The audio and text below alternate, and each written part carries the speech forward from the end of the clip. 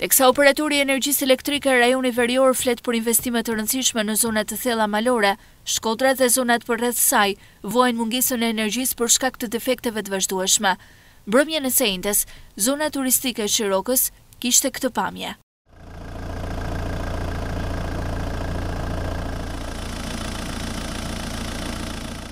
Në orën nëntëmbëdhjetë e tridhjetë, rreth një mijë e dyqind abonentë të zonës së Shirokës, Lugu Çesmës, Lagja Qafë dhe tek Bexhisteni mbetën në errësirë, si shkak i djegies së një kablloje nëntokësor.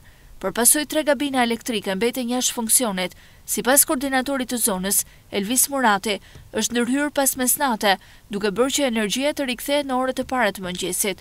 Amortizimi i rrjetit elektrik, mbetet shqetësim për shumë zona të bashkisë Shkodër, të cilat edhe në ditët me reshje shiu e dëbore, mbesin me orë të tëra pa energji. Një situatë absurde për sa kohë që konsumatorët e paguajnë energjinë dhe përballen me të tilla defekte e ndërhyrje që kanë kosto shtesë për ta, e ku rrezikojnë në jo pak raste edhe pajisjet elektroshtëpiake.